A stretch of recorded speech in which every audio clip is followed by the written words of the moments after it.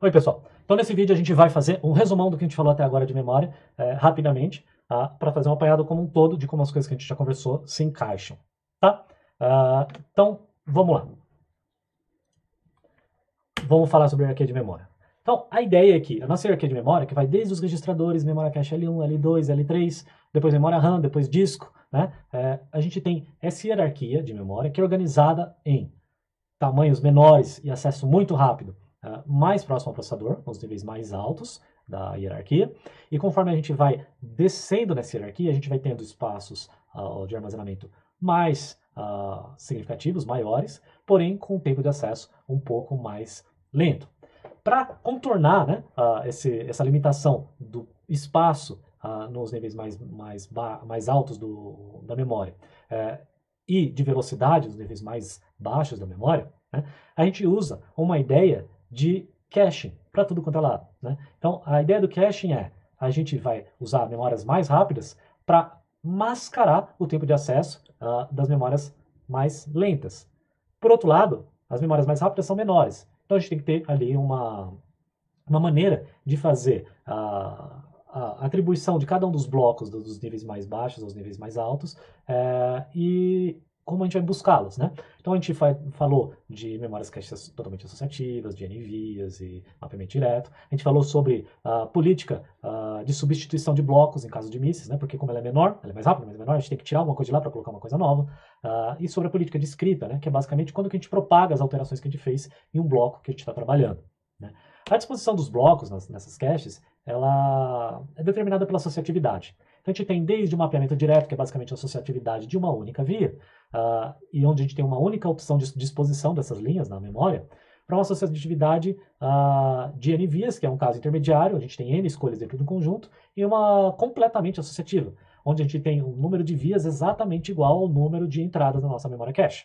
Né? Então a gente viu que no caso das memórias cache de dados tradicionais, uh, isso é interessante, a gente está no meio do caminho, né? porque é muito caro em termos de complexidade de hardware, né? a gente fazer uma memória que seja completamente associativa.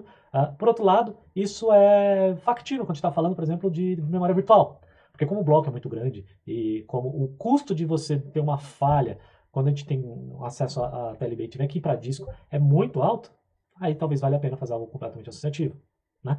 É, então, a associativa mais alta diminui a taxa de misses, e isso justifica, por exemplo, uma tabela de páginas, a gente usar um negócio uh, realmente associativo, porque o custo é de milhões de ciclos. A gente estava mais falando de centenas de ciclos, falando de milhões de ciclos. Né? É, sobre a localização de um bloco, então, né? como é que a gente faz para localizar um bloco? A gente tem a associatividade aqui, método de busca e as comparações. Então, se a gente estiver falando de mapeamento direto, a gente busca é o índice, né? Vai direto uma posição. Só, faz, só é feita uma comparação, não tem nada uh, além disso, é muito rápido. Né? Se for associativo em conjuntos de N vias, a gente primeiro vai no índice, que é o que indica qual é o conjunto, e depois a gente olha todas as entradas naquele conjunto. Se são N vias, tem N entradas o conjunto, então a gente faz N comparações. Se a gente tiver uma cache completamente associativa, a gente vai ter que buscar em todas as entradas. Né? E aí, nesse caso, a gente tem o um número de entradas ali uh, como sendo o número de comparação que a gente tem que fazer. Se por outro lado a gente está falando, por exemplo, com uma tabela de, de páginas, a gente tem uma tabela de busca completa. A gente não tem uma tabela reduzida de entradas, a gente tem uma tabela completa.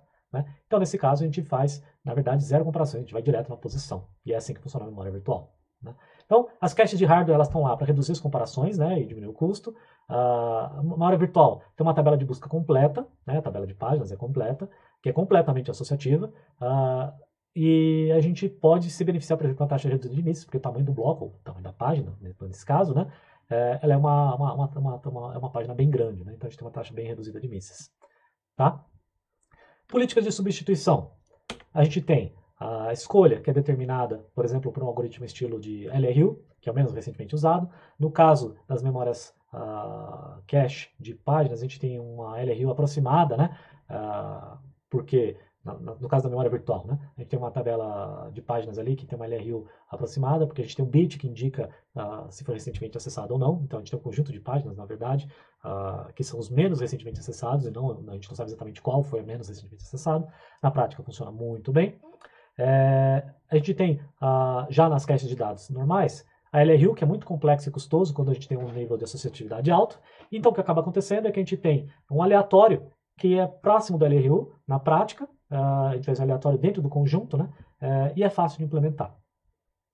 E finalmente, uh, políticas de escritas. Bom, as políticas de escritas, a gente tem write through, write back. Write through é, quando eu fiz uma escrita, eu propago essa, essa escrita imediatamente para o próximo nível de memória. É, facilita uh, o algoritmo de substituição, né, mas pode exigir uh, um write buffer. Né. Por outro lado, a gente pode usar a política write back. A política de write back marca cada uma das linhas da cache, ou cada uma das páginas, no caso da TLB, que foram modificadas. Né? E quando essa página precisar ser substituída, essa linha, na verdade, né, da cache precisar ser substituída, a gente uh, simplesmente uh, escreve essa página, escreve essa linha de cache de volta para a memória principal ou de volta para o disco. Uh, e aí a gente faz esse controle através de um bit de, que indica se aquela linha está suja ou não. Né? No caso da memória virtual, em específico, apenas o write back é viável, já que o tempo de acesso ao disco é muito alto, a latência é altíssima. Né? Então, não faz sentido fazer um negócio write true. Né? Quais são as fontes de possíveis misses que a gente tem. Bom, a gente tem misses compulsórios, né, que está escrito errado aqui, né, aqui deveria ser compulsórios, né, ou cold start misses, uh, que são os misses uh, que a gente tem que pagar de qualquer jeito. Por exemplo, a primeira vez que eu estou acessando uma página, a primeira vez que estou acessando um bloco de memória, tem o que fazer, preciso trazer da memória uh, do disco para RAM ou da RAM para cache, né, são compulsórios.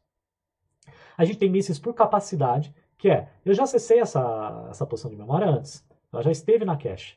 Só que essa linha da cache, ela teve que dar espaço para uma outra linha que veio depois, uh, e eu tive que escolher alguém para tirar, e eu acabei tirando esse cara da, da cache. Então, eu vou ter um miss numa segunda vez, na mesma posição de memória, mas que é por capacidade. Não é por não é, não é um miss compulsório, né? Eu, eu tive que tirar alguém uh, e tomei aquele miss. E tem o outro fato, né, que é o miss por conflito. Né? O miss por conflito, uh, ele é só possível em caches que não são completamente associativas, porque por, o que, que acaba acontecendo, né, se, se chama miss uma cache completamente associativa uh, e você pode colocar aquela linha em qualquer lugar. Né? Então você não tem conflito por uso de uma entrada específica da cache. É, então, isso por conflito só acontece quando a gente tem uma cache não completamente associativa. É, e é disputa por uma entrada daquela tabela de cache. Né? É, então a gente tem esses três tipos de misses. Compulsórios, primeira vez que eu estou acessando, não tem que fazer, tem que pagar. Por capacidade, não é a primeira vez que eu estou acessando, mas bom, eu tive que tirar para pôr outra coisa no lugar, é, e não teve jeito porque é o espaço né, que eu tenho aqui disponível. E por conflito. Eu tinha que botar na mesma posição que estava antes. Não é porque está faltando espaço, mas é porque eu tive que colocar obrigatoriamente na mesma posição que estava antes. Tá? Falar alguns trade-offs no design de cache, então. A primeira escolha do design, efeito no miss rate e a desvantagem associada. Né? Então, se eu tiver uma cache com maior tamanho, eu diminuo os misses por capacidade. Muito bom. Mais a desvantagem, eu posso aumentar o tamanho, o tempo de acesso. Uma cache maior significa que eu preciso fazer mais comparações, eventualmente, ou, ou, buscar por mais entradas. Isso pode complicar o tamanho, o tempo do acesso na cache. Maior associatividade. Bom, maior associatividade diminui os misses por conflito. Né? Por quê? Diminui isso por conflito? Porque quanto maior associatividade, mais escolhas de entradas eu posso ter de onde colocar uma linha ou não na minha cache. Por outro lado, isso pode aumentar o tempo de desempenho. Aumentar o tempo de acesso, não vai perder o desempenho. Né?